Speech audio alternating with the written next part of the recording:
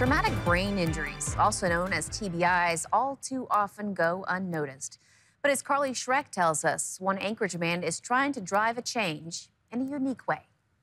Well, it's really nice because this. We dragged it up here um, and spent, oh, probably a year and a half, two years getting it into shape, and then we hit the road. This 1967 Bluebird Wanderlodge is a moving piece of history with a purpose. You look normal, right? But you don't act normal.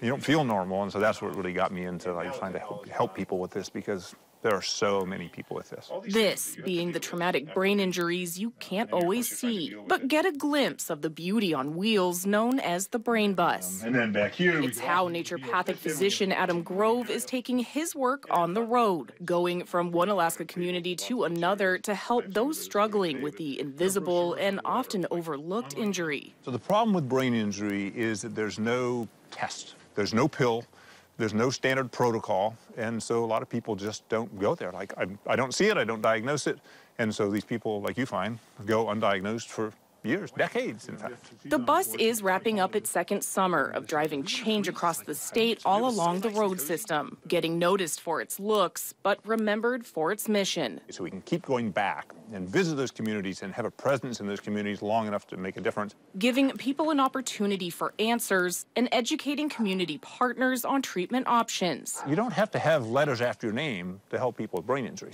And we just, our job is to try to find those people, give them the education, and then turn them loose. One step forward, one bus stop at a time. Carly Schreck, Alaska's News Source.